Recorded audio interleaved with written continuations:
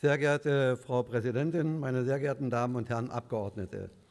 Auf der Drucksache 7 1148 liegen Ihnen die Beschlussempfehlungen des Wirtschaftsausschusses zum Entwurf eines Gesetzes zum Staatsvertrag zwischen der Freien und Hansestadt Hamburg, den Ländern Mecklenburg-Vorpommern und Schleswig-Holstein über einen gemeinsamen Prüfdienst für die gesetzlichen Kranken- und Pflegeversicherungen Norddeutschland sowie mein schriftlicher Bericht vor.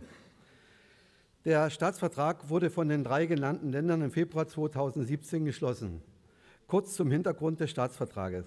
In den Jahren 2006, 2010 und 2011 ist es zu Fusionen innerhalb der allgemeinen Ortskrankenkassen gekommen, die mit einer Verlegung der Geschäftssitze verbunden waren. Hiervon betroffen gewesen sind auch die Freie und Hansestadt Hamburg, Mecklenburg-Vorpommern, Schleswig-Holstein. Aufgrund der Fusion sind insbesondere die Aufsichtsfunktionen dieser drei Länder für die landesunmittelbaren Krankenkassen weggefallen.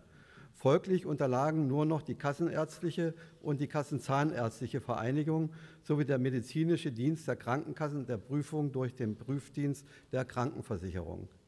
Um effektive Strukturen und Synergieeffekte zu schaffen, haben die drei Länder vereinbart, einen gemeinsamen Prüfdienst mit Sitz in Hamburg zu schaffen.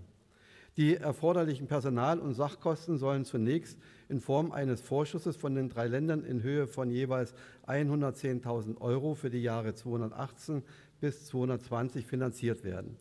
Es ist vorgesehen, die zu prüfenden Einrichtungen je nach Prüfaufwand an den Kosten zu beteiligen sodass sich in den Folgejahren die Zahlungen der Länder reduzieren. Insgesamt wird eine Kostenneutralität angestrebt. Soweit zunächst zum wesentlichen Inhalt. Damit der Staatsvertrag in Kraft treten kann, bedarf er gemäß Artikel 47 Absatz 2 der Verfassung des Landes Mecklenburg-Vorpommern der Zustimmung des Landtages in Form eines Gesetzes. Die beiden mitberatenden Ausschüsse, der Finanz- und der Sozialausschuss, haben jeweils mehrheitlich empfohlen, den Gesetzentwurf unverändert anzunehmen. Im Rahmen der Beratung im Finanzausschuss ist das Wirtschaftsministerium um Prüfung gebeten worden, ob eine Übertragung der Prüfungsaufgaben auf den Landesrechnungshof im Einklang mit dem SGB V steht.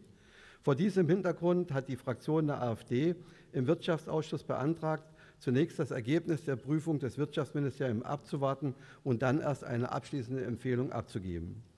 Der Antrag der AfD-Fraktion hat der, der Wirtschaftsausschuss mehrheitlich mit den Stimmen der Fraktionen der SPD und der CDU gegen die Stimmen der Fraktionen der AfD bei Enthaltung seitens der Fraktion Die Linke und BMV abgelehnt.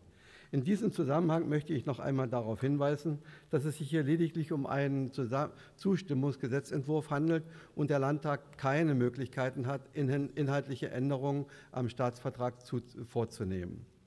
Der federführende Wirtschaftsausschuss hat zu dem Gesetzentwurf insgesamt mehrheitlich mit den Stimmen der Fraktionen der SPD und der CDU gegen die Stimmen der Fraktionen der AfD und Die Linke bei Enthaltung seitens der Fraktion der BMV dem Landtag empfohlen, den vorliegenden Gesetzentwurf unverändert anzunehmen. Und nun bitte ich Sie, sehr geehrte Abgeordnete, der Beschlussempfehlung zu folgen, um den Weg für das Inkrafttreten des Staatsvertrages freizumachen. Vielen Dank für Ihre Aufmerksamkeit. Vielen Dank, Herr Eifler. Im Ältestenrat ist eine Aussprache mit einer Dauer von bis zu 30 Minuten vereinbart worden. Ich sehe und höre dazu keinen Widerspruch. Dann ist das so beschlossen. Ich öffne die Aussprache. Das Wort hat für die Fraktion der AfD der Abgeordnete Herr Dr. Jess.